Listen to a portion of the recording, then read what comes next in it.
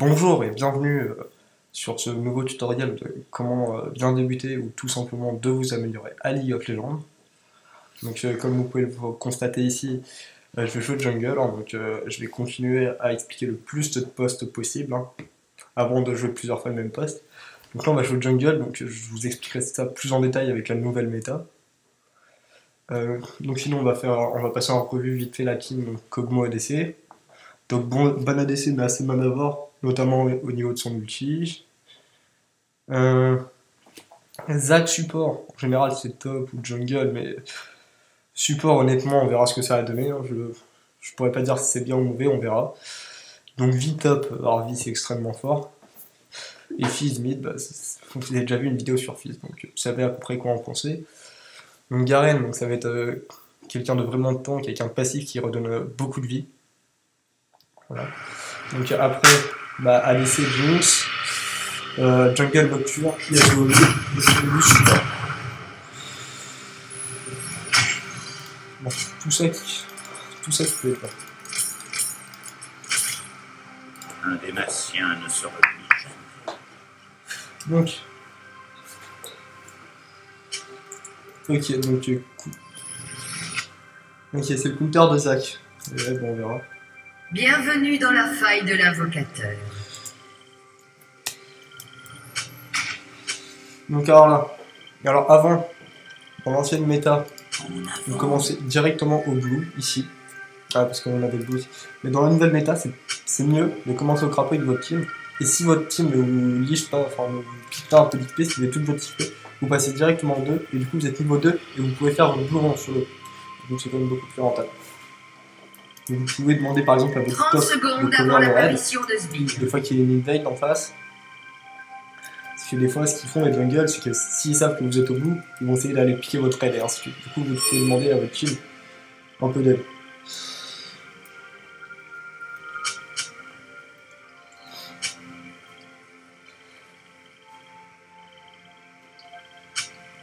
Donc là, hop, elle a été une ward, comme ça je peux vérifier qu'il n'y a personne qui tente d'aller me le piquer. Enfin, quoi que savoir, vous voyez, s'il passe par le haut par ici, il passe pas forcément dans le chemin de la. Enfin, ouais, c'est assez compliqué. Ils aient prévu leur coup, alors s'ils passent là. Bah, ouais, faut pas Honnêtement, je pense pas qu'il y aura de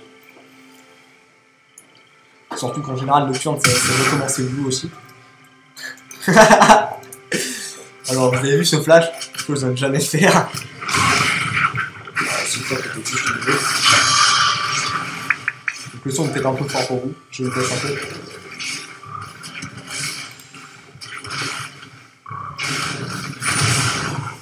Donc là, vous voyez, hop, je suis passé au niveau 2. Donc euh, le Kog'Maw ne m'a pas d'XP.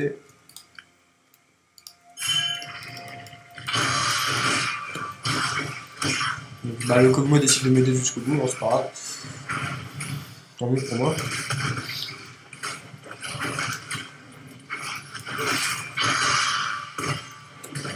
Alors, pourquoi j'ai pris Zinzao J'aurais pu prendre Warwick, qui est un des meilleurs jungles dans la nouvelle méta.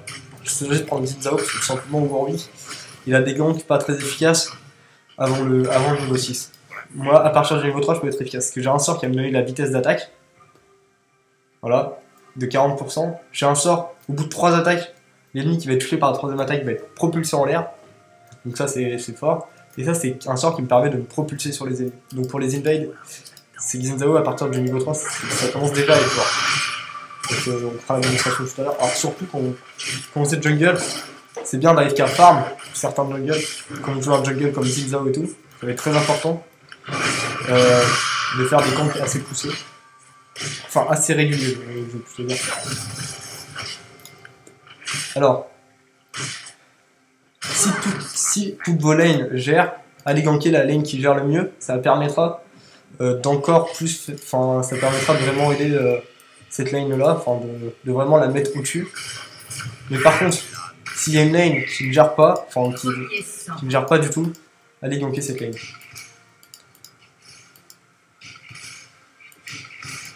je, vais, je, vais, tenir le mid pour pas qu'Yasuo il push, mais euh, là j'ai pas bien vu le premier temps. Ordres des rois.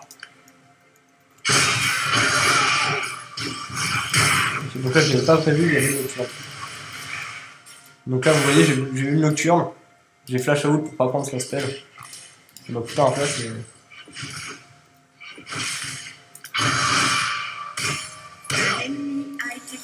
Donc là, vous voyez, j'ai mis les bons dommages sur Xendao quand même, mais...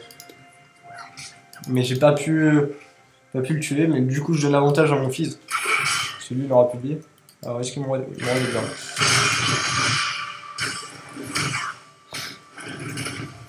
J'ai un petit popo pour pas perdre trop de vie sur le raid. Même si mon Z me donne 26 de points de vie les 3 attaques.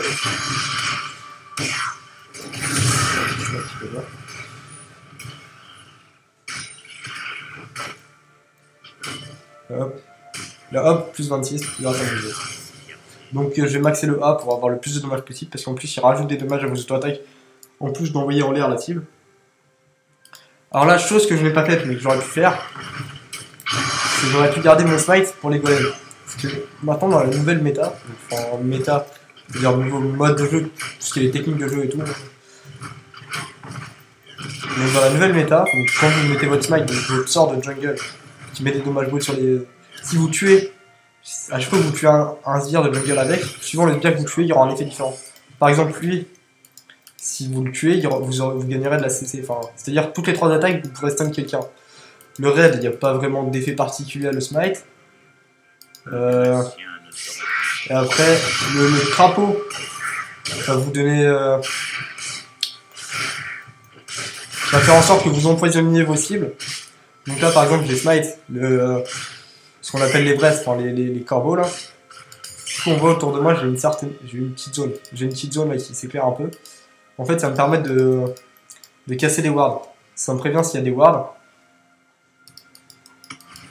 Donc là, hop, j'ai été prévenu qu'il y avait une ward.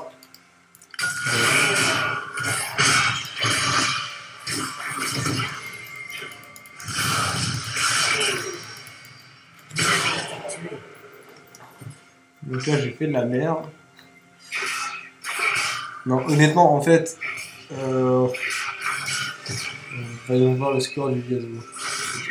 Donc le Gazo était clairement plus fort que moi, je l'ai sous-estimé. C'était un peu. J'ai vu qu'il avait posé noir.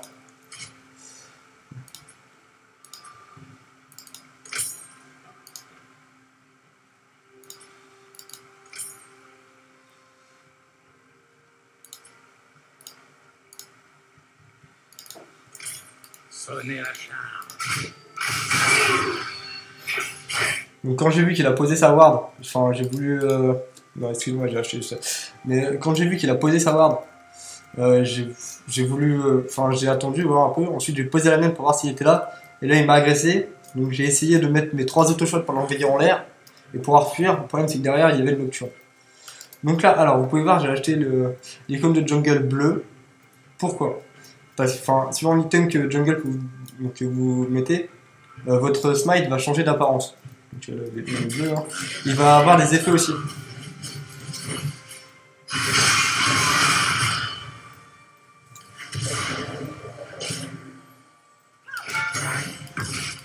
Donc alors là, alors en fait moi là je peux smiter les, les, joueurs, ennemis ou alliés, enfin non, juste ennemis, et ça va leur retirer de la, donc ça leur envoie 52 points de dommage brut, et ça leur retire de la vitesse de déplacement.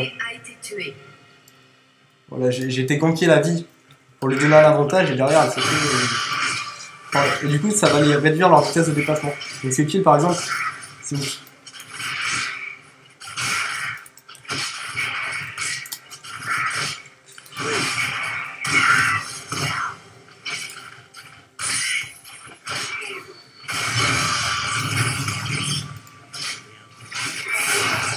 en série.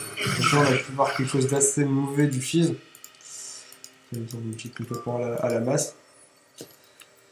Alors là, elle me... Alors je suis venu la gank, comme on a pu voir, elle, elle est pas venue m'aider. Elle a voulu combattre le Garen en 1v1. Une fois que j'étais mort, et elle s'est fait tuer. Et après, euh, c'est ma faute. Alors surtout quand vous avez un compte du jungle, l'important c'est d'être présent. Enfin, vous soyez là pour, euh, pour aider. Qu'en gros, le jungle, il est là pour vous aider. Il est pas là pour mourir euh, pour rien.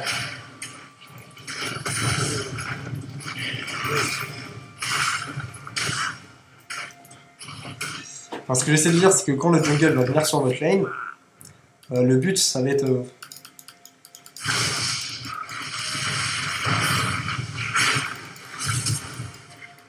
Oh la pute Excusez-moi, ça m'a échappé, je me suis fait tuer par le crapaud. Alors là, j'ai vraiment bad. Non, euh, honnêtement, donc quand le genre, faire prendre, j'expliquerai cette action après, mais donc quand, on, quand le jungle vient sur une lane, c'est pour aider la lane. Et donc, ce qu'il faut faire, c'est quand il l'engage, il faut le suivre. Il faut pas attendre qu'il meure ou que ou que l'ennemi soit bas PV pour caisse. Non, faut vraiment y aller dans ce bloc. D'ailleurs, ça, il y a beaucoup de gens euh, qui se croient forts dans League of Legends parce qu'ils meurent pas beaucoup et qu'ils ont 2-3 kills. Mais non, Pourquoi ils font ça? Ils attendent que leur, que leur équipe aille euh, faire les le dommages. et ensuite après ils vont récupérer les kills. Quand, euh, quand les ennemis n'auront plus de vie, après ils y vont et ils récupèrent les kills. Donc ça c'est vraiment pas c'est vraiment pas fou ça parce qu'en plus votre équipe elle vous allez sacrifier quelqu'un de votre équipe pour avoir des kills. C'est vraiment pas fou du tout. C'est même plutôt mauvais.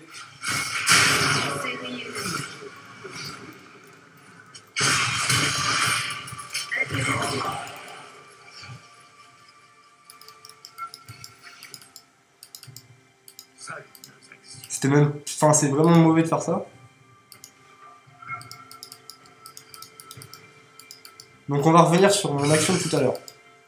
Qu'est-ce qui s'est passé tout à l'heure quand j'étais là? Donc il a commencé à m'attraper. Du coup j'ai flash travers le mur parce que je sais qu'il peut pas se suivre sans mettre un flash. Et donc s'il met un flash, c'est utile parce qu'il a perdu son flash même s'il m'a tué. Mais si- et s'il met pas de flash, moi j'ai mis le mien mais j'ai survécu. Donc c'est utile aussi.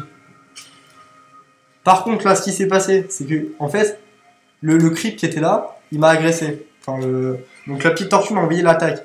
Du coup, j'ai flashé, le nocturne ne m'a pas suivi.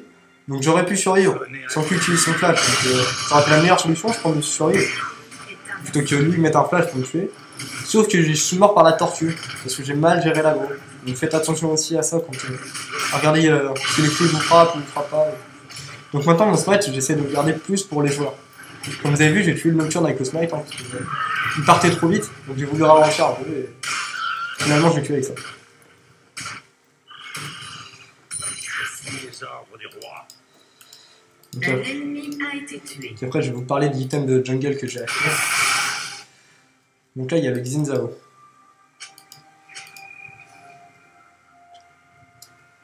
Je crois que c'est Ward. Ce sera. Alors, très important. euh, dans la nouvelle méta, quand vous êtes au jungle, vous devez aller engager les, les drakes avec votre team.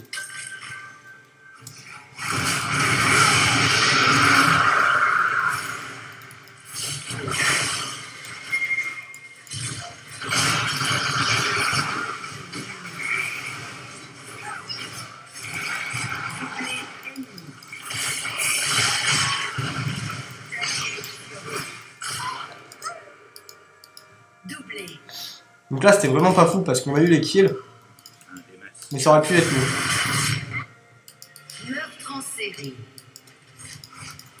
Ok. Donc là en plus, le Garen a mis son ulti et n'a pas tué la vie. Donc c'est un kill qui vaut plus ou juste vous le tuer. Si par exemple, en plus de le tuer, l'ennemi met un, met un flash ou quelque chose, c'est un kill qui va avoir plus de valeur. Parce qu'après, il pourra pas le remettre. Donc là on voit que euh, ont eu le dragon. Donc on peut le timer. Donc là il y a le timer, vous faites tabulation, vous avez les timers. Donc votre rouge, votre bleu, le Nashor et le dragon.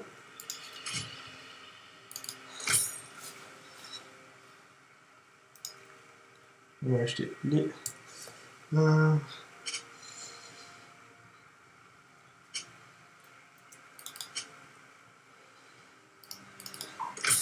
Donc là, donc là, honnêtement, ils ont pris un dragon, mais il y a, beaucoup de leur équipe qui sont morts, donc c'était pas forcément rentable.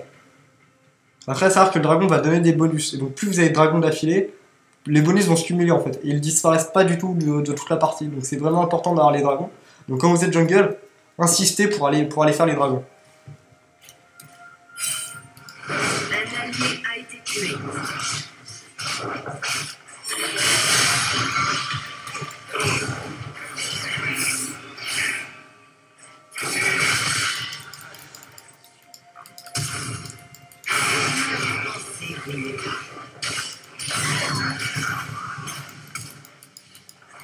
Donc là, on voit que j'ai pu mettre mon flash pour l'avoir.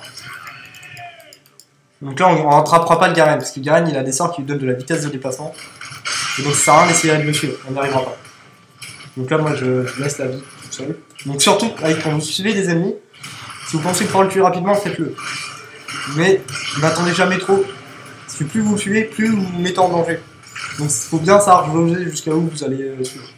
C'est pour ça, pour ceux qui connaissent pas vraiment le jeu. Alors chase, c'est-à-dire pourchasser. Enfin, c'est quand vous suivez un ennemi, que vous êtes sur le point de tuer. Quand votre team a dit stop chase, c'est-à-dire arrêtez de vous. En gros, elle, essaie de vous donner des conseils en vous disant ne le suis, ne le suis pas trop loin. L'équipe va peut-être arriver et ils vont te tuer derrière. Donc, euh, voilà, je donne 2-3 conseils sur aussi euh, Comment- comment jouer et pour le vocabulaire, parce que c'est assez important. Donc là, il voit qu'il y a le donc on va tenter un, un engage.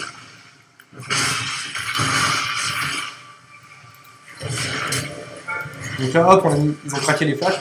Donc comme je l'ai dit tout à l'heure, un flash, même si la sim service elle a mis son flash, ça vous rapportera pas de gold, mais c'est vraiment utile. Donc c'est pas, pas parce que la personne a réussi à s'enfuir que vous avez été mauvais ou autre si elle a mis un flash. Après, si elle a réussi à s'enfuir et tout, c'est un peu spécial. Mais euh... Donc là, on va les défendre. Le mid. Donc alors là, je vais parler un peu de l'item jungle que j'avais acheté. Donc comme on dit, je suis parti sur l'item bleu. Qui va... Qui va donner... euh, qui va permettre d'avoir un smite de couleur bleue. Qui va ralentir les ennemis. Donc là, la tourelle est perdue, donc on évite la tornade. Et donc, ce smite, enfin cet outil-là, il va donner aussi 50% de vitesse d'attaque. Donc la vitesse d'attaque, c'est la vitesse à laquelle vous tapez par seconde. Donc là, on voit que je tape, euh, je suis une vitesse d'attaque de 1,3. Et C'est-à-dire que je vais faire une attaque, une attaque virgule 3, enfin, euh, une attaque, une attaque euh, virgule 4 à peu près par seconde. Donc, en une seconde, je vais faire un tout petit peu plus d'une attaque. Donc ça que vous pouvez prendre des, objets ou des, trucs comme ça qui vont donner de la vitesse d'attaque.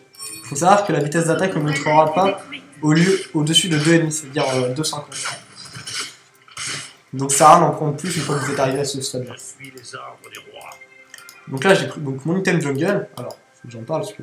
Donc en plus de donner de la vitesse de déplacement, il va donner des bonus. Par exemple, quand je tue, quand je tue un gros creep, il me donne des bonus, il me donne 20 PO en plus. Et surtout, plus important, là vous voyez, j'ai un petit chiffre. Il va augmenter quand j'aurai fini de tuer le, le crapaud. Donc là, hop, j'ai tué le crapaud. Et là, mon, mon- donc là j'ai eu le bonus parce que j'ai tué avec le smite. Euh, donc là on voit, le donc là mon chiffre est passé de 5 à 6.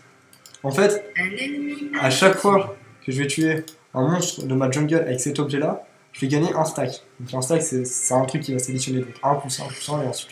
Et donc chaque stack, c'est des dommages. En fait, mes auto-attaques vont mettre des dommages en plus. En plus. Donc mon AD de ma volonté, c'est des dommages qui vont s'additionner. Pour la victoire. Donc là, hop, ils ont fait mon, mon rouge. Et donc, euh, ah, comme on dit là, elle donne déjà 25 de base, plus les 6 que j'ai gagnés, ça fait 31. Maintenant, ça fait 32 et ainsi de suite. Et ça marche aussi quand vous tuez des ennemis. Donc ça, c'est... Alors quand vous avez cet item là, c'est important de soit de tuer beaucoup d'ennemis, soit de faire beaucoup votre jungle justement pour qu'il pour qu'il vous donne beaucoup de dommages.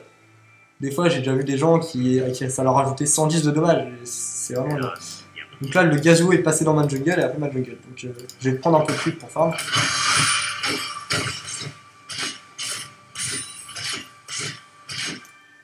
Un allié a été tué. Alors, quels items je vais aller. Donc là, on voit que Gazou est vraiment fort. Donc. Alors quand vous voyez Un quand, quand un ennemi est trop fort, ou que quand votre team veut dire par exemple la focus, Votre tourelle a été détruite. c'est-à-dire que l'ennemi est fort et c'est l'ennemi à tuer en priorité. C'est celui qui va mettre les dommages. Donc en clair, quand vous voyez quelqu'un qui met beaucoup de dommages, C'est à lui de le tuer. Faut pas focus les tanks. On se dit, ouais, ils ont beaucoup de points de vie, ils sont plus durs à tuer, c'est vrai. Mais c'est juste vrai pour ça. En fait, eux, ils sont là pour prendre justement les dommages à la place de leurs ennemis. Alors si en plus, vous, vous les frappez volontairement, ils vont vraiment bien remplir leur rôle. Alors qu'en fait, les... faut frapper par exemple les Jinx, les Yasuo et tout, qui vont mettre les dommages.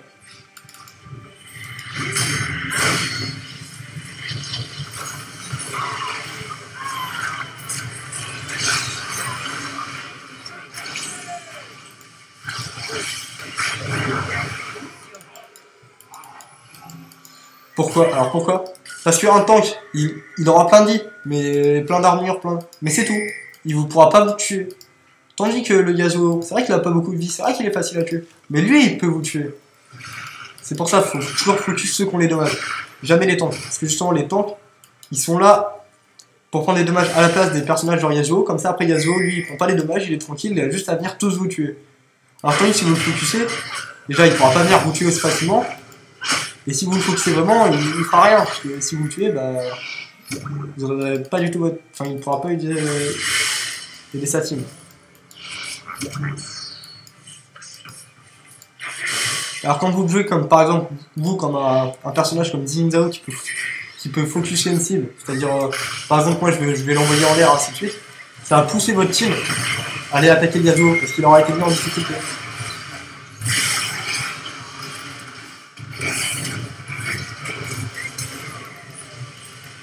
Parce qu'il aura été mis en difficulté parce que votre team elle sera toujours sur succès en difficulté. Alors si les gens comme moi ils mettent en difficulté le tank et bah ma team elle va frapper le tank et c'est pas utile. J'espère que vous commencez à comprendre. Enfin, c'est des trucs que je vais beaucoup revenir au fur et à mesure de tous mes tutoriels. C'est des points sur lesquels je vais beaucoup beaucoup revenir parce que ça fait partie des choses les plus importantes.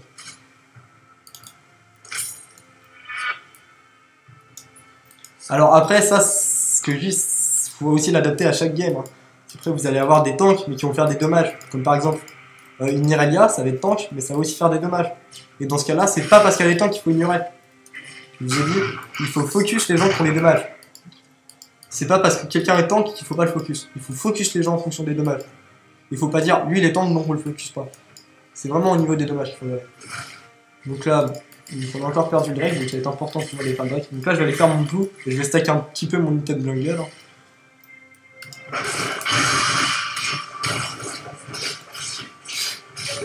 Alors là, j'ai pris quoi? J'ai pris un item qui me donne 25 dégâts d'attaque. Vous allez vous dire, ah, euh, c'est pas fort. Mais cet item-là est très fort quand même. J'expliquerai pourquoi.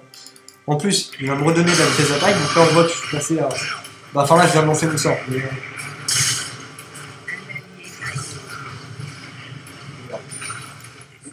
Doublé ennemi. Mais si je lance pas mon sort, là, on voit que je suis à 1,6 de dommage. Et en plus, ça, ça va voler. C'est un item qui, à chaque fois que vous avez donné une auto-attaque, il va voler de la vie. Donc, il va vous rendre de la vie. L'ennemi va perdre de la vie et vous, vous allez en gagner en fonction de la vie maximale de l'ennemi. Donc ça, c'est extrêmement fort. Donc là, il faudrait déjà défendre mon visiteur, mais je vais me faire. Donc là, je peux rien faire, je suis tout seul. a été détruit. Si je suis tout seul, je serais juste mort, ils auraient pris de l'inhibiteur dans la foulée. Donc là, faut vraiment savoir gérer ses morts et tout ça. Il faut pas hésiter à sacrifier pour sa team. Faut pas, dans là, faut pas essayer de mourir le moins possible. Il faut, faut que votre mort, faut, mourir, il faut que votre mort soit utile. Si votre mort est inutile, vous êtes mauvais. Si vous mourrez, mais que votre mort est utile, vous êtes un bon joueur. Et si vous ne mourrez pas et que vous êtes utile, c'est un peu le genre parfait, mais c'est rare. Vous regardez les, les championnats du monde, les LCS et tout, pour ceux que- de League of Legends. Et ben les gens ils meurent quand même, hein. à la fin la, la partie c'est pas, c'est pas 5, euh, 5 contre 6, à la fin il y a beaucoup de kills. hein. C'est parce que les gens ils essaient de rentabiliser au maximum leurs kills. hein. Ils savent qu'ils doivent mourir dans certains moments, ils essaient pas à tout prix de tout le temps jouer sur, sur leur tower et tout. Et le mieux pour prendre des risques, c'est quand c'est vous qui dominez la game. Si plus vous êtes en retard, faut mieux jouer sur sa tower, pour pas agrandir leur retard. Mais quand vous êtes en avance, là c'est vraiment utile de. de... Oh, un peu dans la merde. Donc là c'est à moi d'aller forcer focus sur ceux qui font les dommages.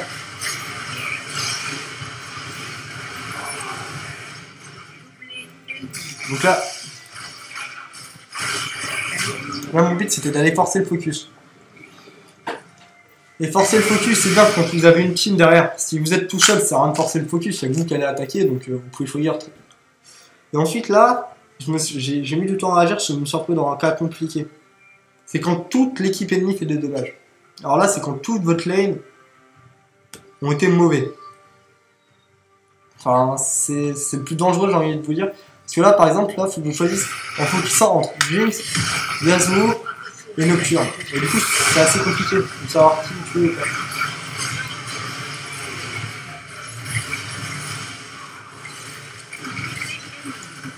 Donc là, on voit que j'ai focus le Yasuo. Pourquoi? Que comme ça, vous voyez, derrière, il reste Garen. Et Lulu. C'est des tanks, vous voyez ils ont du mal à les tuer. Mais ils fuient, parce qu'ils ils ont, ils ont pas de dommages. C'est ce que je disais tout à l'heure. Tandis que si c'était Yasuo, le Yasuo qui était resté en vie, et bah, se seront fait- ils se seraient fait tuer. Tout simplement. Ils se seraient fait, ils seraient fait tuer parce que Yasuo a pu se défendre. Eux, ils n'ont pas de dommages, ils savent. Du coup, ils vont reculer. Donc, dans ce cas-là, moi, je vais prendre un peu d'armure pour tenir plus longtemps en vie. hein. Je vais partir plus tant cul que de dommages maintenant. Et donc là, on voit que c'est utile de prendre. Parce que là-bas, ils ont une team full AD, sauf le support. Mais le support, il est pas vraiment. Enfin, c'est le support. Il est pas là pour prendre les kills. Donc c'est mieux de prendre de l'armure. Mais par exemple, si vous aviez eu un mid, à la de Yasuo, je sais pas, un Veigar qui est AP, vous auriez dû prendre un mix. Mais là, je peux négliger un peu euh, la résistance magique.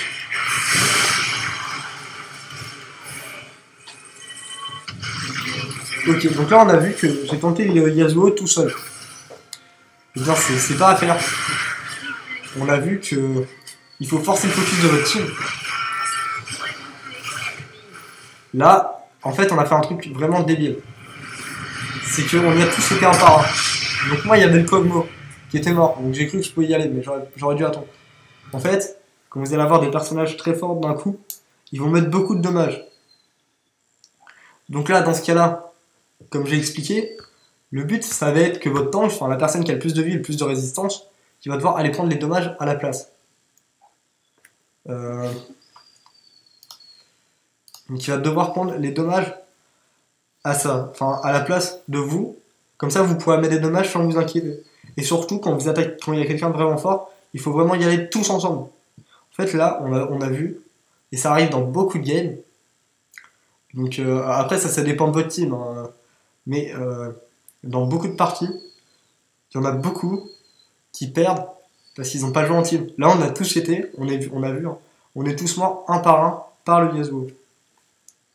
Alors que en vrai, c'est pas vraiment ce qu'il faut faire. Enfin, c'est même pas du tout ce qu'il faut faire. Il faut, faut, faut toujours bouger ensemble et y aller et toujours essayer d'être plus nombreux que l'équipe en face. Si vous êtes 5 contre 5, si par exemple ils sont 4, attaquez-les à 5 s'ils sont 3, attaquez-les à 4 s'ils sont 2, attaquez-les à 3 et ainsi de suite. Il faut toujours essayer d'être plus nombreux. Euh, faut toujours essayer d'être plus nombreux, ça vous donnera un gros avantage. Donc c'est pour ça, là, ce qu'on a fait, on y a tous été un par un et c'était très mauvais. Après, ils ont fait une autre chose que j'aime pas, c'est sur end. Ça, faut pas le faire. Après, en plus, sur end, vous le faites sur le coup parce que vous êtes énervé. Par exemple, là, ils ont vu que Yasuo a tué tout le monde. Il a fait un quadruplé, ils ont fait, oh, ils étaient énervés, ils ont fait sur end, sur end, sur end, on va perdre de toute façon. Et après, plus tard, ils vont se dire, ils vont peut-être regretter d'avoir sur end, ils, ont, ils vont se dire, ah, mais si on avait attaqué tout tous ensemble, euh, on, aurait peut-être battu Yasuo et tout. Mais on le saura jamais comme on a. Et du coup, après, ils vont regretter. Donc, vraiment, euh, pas sur end. Et après, jouer en team. League of Legends, moi, enfin maintenant, League of Legends, si vous jouez pas en équipe, vous êtes mort. Enfin, vous êtes. euh, si vous jouez pas en équipe, vous avez perdu. Honnêtement, c'est ce qui s'est passé là. On y a tous été un par un sur Yasuo. Alors lui, il a pas besoin de jouer en équipe parce qu'il est beaucoup plus fort.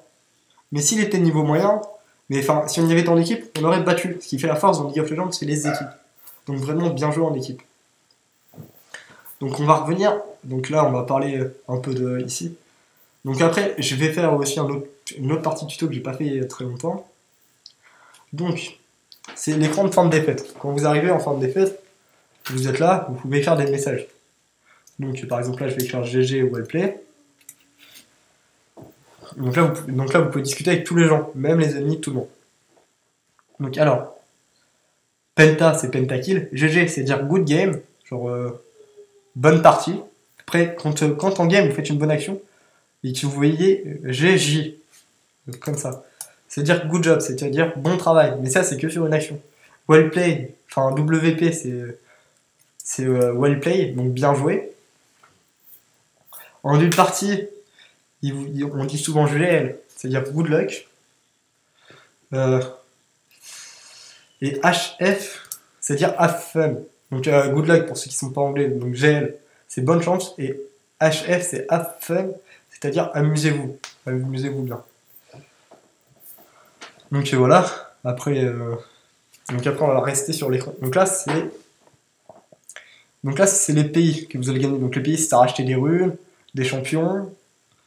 Euh, Enfin, je vous ferai un épisode spécial sur à, tout, enfin les pays sur League, enfin sur League of Legends. En dehors des parties, je ferai un épisode spécial. Mais là, je commence un peu. Donc là, il y a les pays. Donc là, vous, les, les pays que vous avez gagnés. Et là, et donc là, vous avez un bonus si c'est une partie avec matchmaking et ainsi de suite. Euh, je, crois que le bonus correspond au nombre de champions, mais enfin, faudra être sûr. Donc en gros, vous avez gagné 52 pays. Alors après, il vous décompose. Donc là, on a gagné 32, parce qu'on- enfin 36, parce qu'on a perdu. Si on a gagné, on, aurait- gagné plus. Et ainsi de suite. Là, on va regarder l'écran des stats.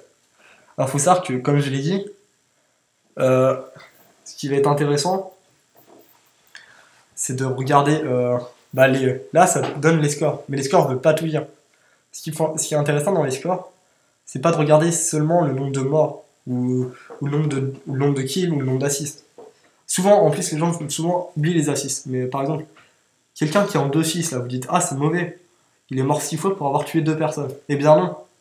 Parce qu'il a, il a 10 assists. C'est-à-dire qu'il il était là, il a aidé sa team, il a aidé son équipe 10 fois. 10 fois, il a été présent sur un kill. Donc c'est fort, enfin, c'est utile.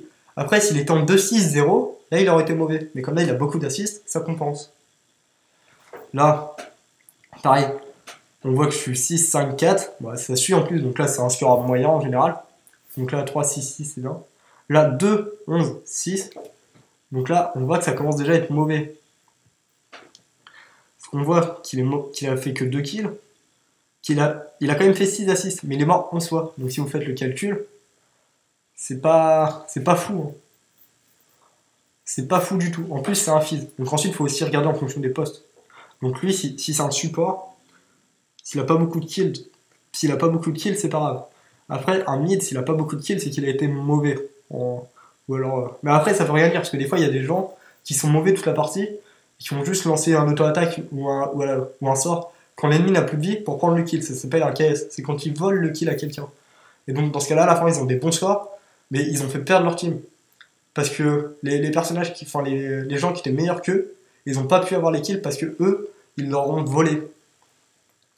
Et donc, dans ce cas-là, eux, ils vont avoir des kills, donc ils vont avoir des golds pour s'acheter des équipements, mais ils seront pas aussi bien s'en servir que l'autre personne. C'est pour ça que j'aime pas tellement les caisses. Donc, alors là, on voit le nombre de creeps tués, hein. Donc c'est pas terrible. euh, On voit le Yasuo qui nous a tous tués est largement au-dessus. hein. Savoir que 15 creeps à peu près, c'est un kill. Voilà, vous tuez 15 creeps, c'est comme si vous aviez tué quelqu'un. En jungle, c'est encore différent, parce qu'en jungle, il y a moins de creeps, mais ils valent beaucoup plus d'argent. Donc là, euh, K, ça veut dire 1000, donc là, veut dire que j'ai gagné 7,9K, ça veut dire que j'ai gagné 7900 gold en tout, donc euh, 7900 d'or en gold, c'est fort. Donc 7K, 7000, ainsi de suite. Donc là, on peut voir que le Yasuo est largement au-dessus. 14 600 gold, c'est énorme. Donc dans la team en face, en plus, vous voyez qu'ils sont des. Ce qu'il faut pas faire, en général. Pourquoi on aurait pu les battre? Et euh, là, on regarde le Yasuo est en 18-4. C'est-à-dire qu'il a pas laissé beaucoup de kills au reste de sa team, à part le Nocturne ou. Mais on voit que par exemple, quand une personnage prend trop de kills, s'il meurt et qu'il en a pas laissé à sa team, euh, derrière sa team va se faire découper. Après, s'il meurt pas parce qu'il est vraiment sûr de bien jouer, là c'est nous qui nous ont découpé. Mais euh, c'est pour ça, dans LoL, c'est un équilibre. Il faut vraiment. C'est vraiment en fonction de chaque partie. Donc là, donc là ici, c'est les nombres de kills et de morts de l'équipe. Donc euh, nous, on a tué 20 personnes, 21, 21 personnes on est mort 37 fois, on a eu 28 assists. En face, ils ont eu 37 kills, 22 morts pour 39 assists. Donc là, on voit que nous, on en a tué 21, mais que de l'autre côté, il y en a 22 qui sont morts. C'est-à-dire qu'il y en a un qui est mort, mais que c'est pas nous qui l'avons tué. Il s'est peut-être fait tuer par une tourelle ou par, euh, ou par des creeps. Donc là, on va aller voir la grille. Donc là, c'est les, dommages, c'est tout ce qui est statistique, hein, c'est marqué, machin. Mais sinon, là, grille et graphe, c'est la même chose. Sauf c'est présenté de manière différente. En gros, dans grille, c'est que des grilles avec des chiffres. Dans graphique, ça va être des graphiques. Par exemple, vous sélectionnez les, classes combat, et là, vous allez avoir des barres. Donc, vous verrez tout de suite qui est au-dessus des autres. Et quand vous passez votre souris dessus, ça vous marque les assists, les morts, les kills. Donc là, on voit que Yasuo est largement au-dessus des autres au niveau des kills. Donc hop, là, on va mettre les dégâts infligés. On voit que Yasuo est largement au-dessus des autres.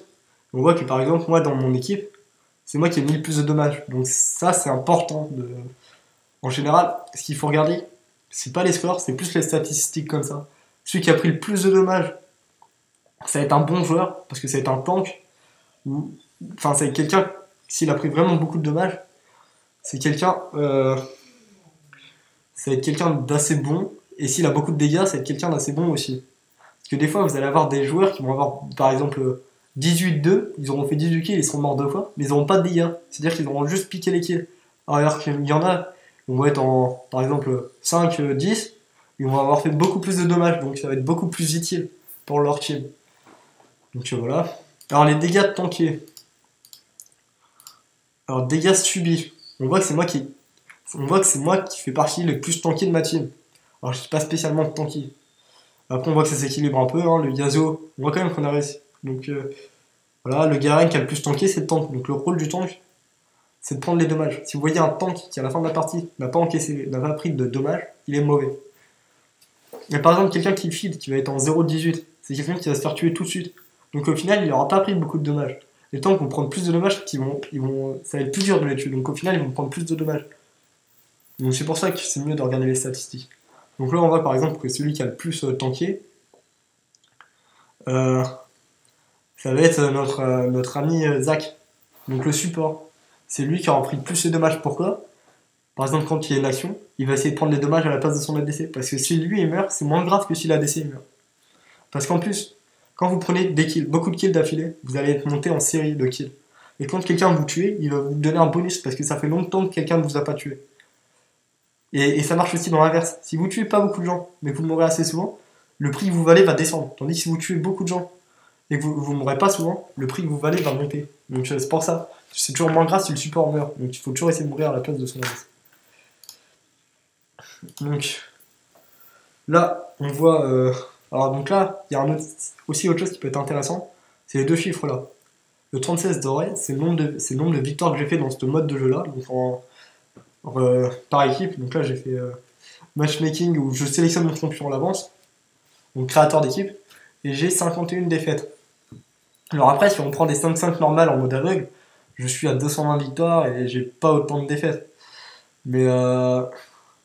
donc là, ça peut être intéressant. Parce que là, vous avez pile votre nombre de victoires, pile votre nombre de défaites, donc vous savez si vous êtes équilibré. Après, on voit que j'ai quand même fait 80 parties, 80, entre ouais, 85 parties à peu près, 88 parties dans ce mode de jeu. Donc c'est pas le mode de jeu que je joue le plus. Bah voilà, j'espère que ce tutoriel vous aura bien aidé et vous aura plu. N'hésitez pas à vous abonner ou à mettre un pouce vert et à regarder les autres vidéos que j'ai déjà faites.